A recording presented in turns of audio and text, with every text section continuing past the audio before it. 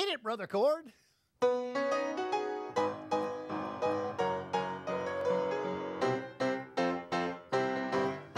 A rich young ruler came one day. To ask about the narrow way. But his hair was long. Oh, his hair was long and he couldn't be saved. No, he couldn't be saved. The preacher looked at him through tears. and said your problems on your ears. If your hair's too long.